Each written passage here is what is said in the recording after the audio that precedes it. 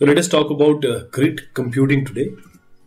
Uh, grid computing is a type of data management and computer infrastructure designed as a support primarily for scientific research but also used in various commercial concept business research entertainment finally by government of different countries now this uh, uh definition you can say or uh, the idea about uh, grid computing it involves heavy scientific research. Why it is there? Because people have been using it for quite some time now. Government and international organization military teachers educators and businesses. How this works there is a grid server. There is a, a you know grid of computer or computers running on a special grid. These are on some network software. So there are network software and we have a software called middleware. There are uh, general in general if you talk about uh, grid these are the users okay? Uh, you are the users. Now you have to go to a grid server. This grid server uh, eventually takes uh, you to the grid clients which are actually in network. Grid is like this Simply, you know, I'm just giving a layman definition. This is like grid. So if your computers are like this, managed and placed in some form, but you are not aware of how they are managed, this is a prerogative of grid server. This is how grid computing works. And grid is this, and computing is also there. What is computing? Whatever you want maybe in research field or scientific field you want something to be computed. Fast uh, you know distributed to various uh, clients this is grid computing. Now it has a very uh, much similar uh, similarity. It's a, it's a, it has a great similarity with uh, the other computing which i'm going uh, to take on just now.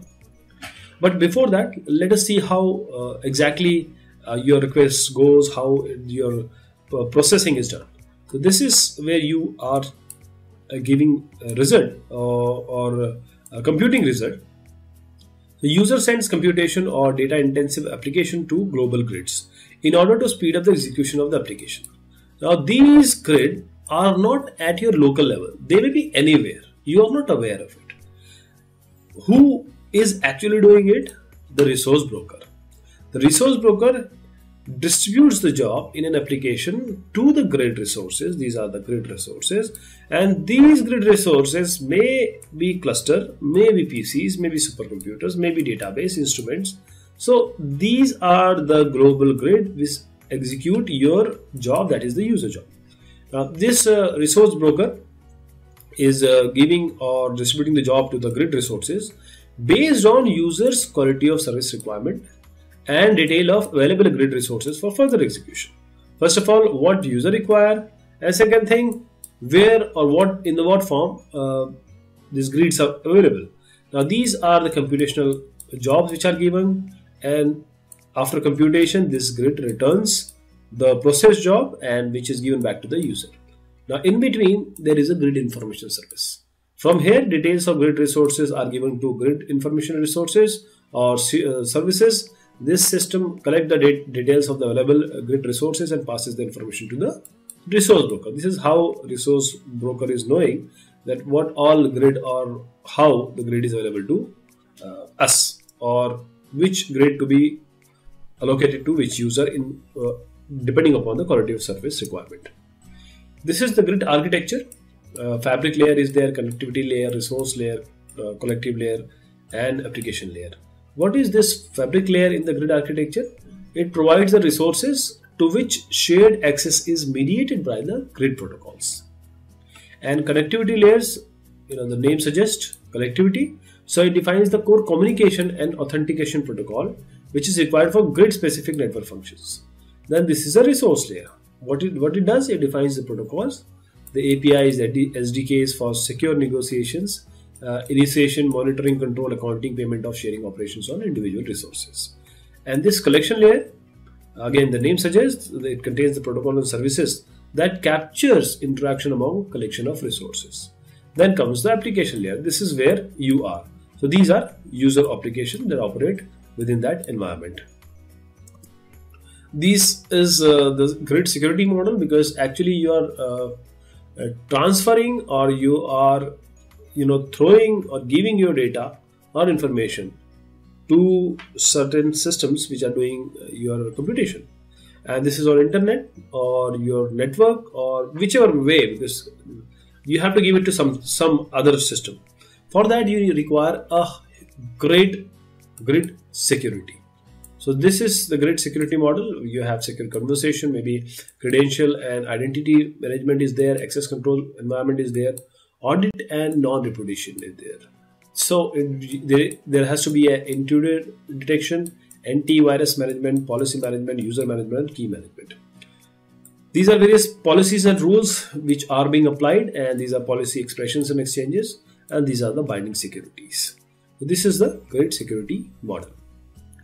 There are various types of grid. Uh, i'm going to give you idea about type of computing also. So first just let us see that what are the types of grid which are available.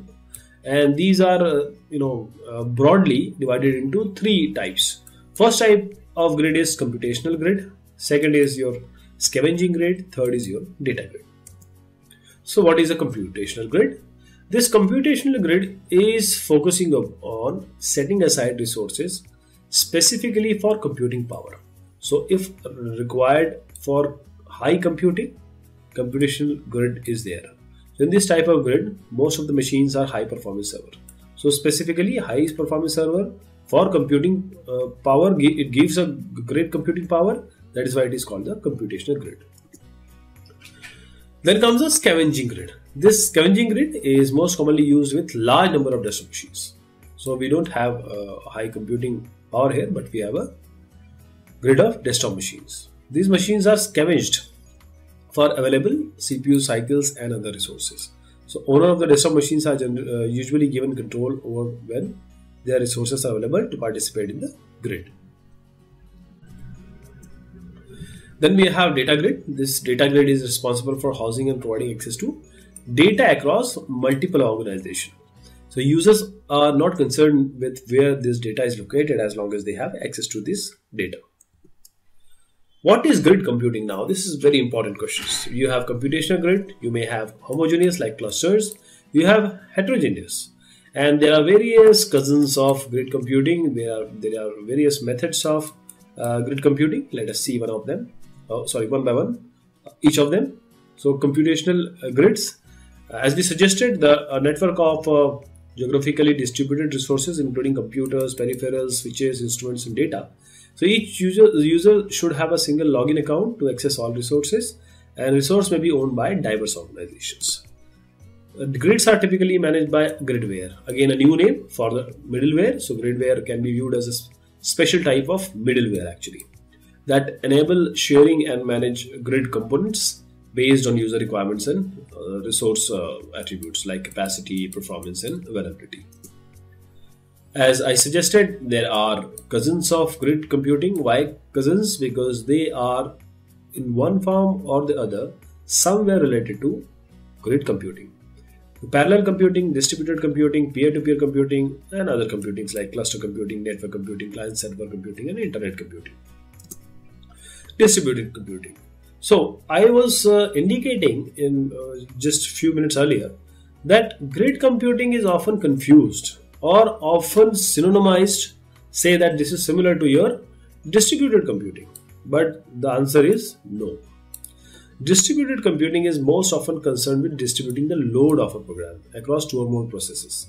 So we if we uh, distribute the load of the processing to two or more or many processor you are distributing the load of computation basically this is how distributed computing works. But uh, this grid computing is not only about computing, it is about having or giving the data to a proper grid structure where you have a formalized architecture. And this is peer to peer computing, sharing of computer resources and services by direct exchanges uh, between systems or two systems direct. Computers can act as clients or servers depending on what role is most efficient for the network. Uh, now, coming to methods of uh, grid computing, say distributed supercomputing, high throughput computing, on demand uh, computing, data intensive computing, collaborative computing, and logistical computing. These are all the methods of grid computing. This is how your uh, you know distributed uh, computing uh, find its difference from grid computing. Distributed supercomputing combining multiple high capacity resources on a computational grid into a single virtual distributed supercomputer. So it tackles the problem that cannot be solved on a single system. High throughput computing it uses the grid to schedule large number of loosely coupled and independent tasks with the goal of putting unused processor cycles to work. So when high throughput is required, then this type of computing is generally used. Then on-demand computing. It uses grid capa uh, capabilities to meet short-term requirements for resources that are not locally accessible. That is, it is available on demand, so models real-time computing demands. And data intensive computing, the focus is on synthesizing new information from uh, data that is maintained in geographically distributed repositories, digital libraries, and databases. So, particularly useful for distributed data mining. So, if you have intensive data computing like data mining or uh, uh, similar technologies, then you use data intensive computing. Then, collaborative computing. It concern, uh, this is concerned primarily with enabling and enhancing human to human interaction.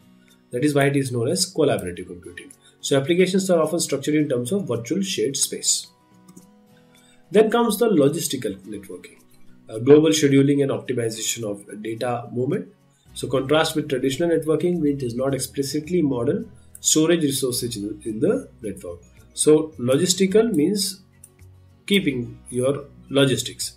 So this is called logistical because the analogy it bears with the system of warehouses, depots and distributed channels. So what are the advantages? Increased user productivity, first of all. By providing transparent access to uh, resources, work can be completed more quickly.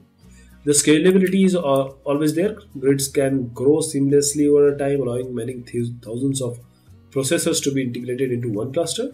And uh, flexibility. Grid computing provides computing power where it is needed most, helping to better meet dynamically changing workloads. But there are a few disadvantages also. For memory hungry applications that can't take advantage, you may be forced to run in a larger system.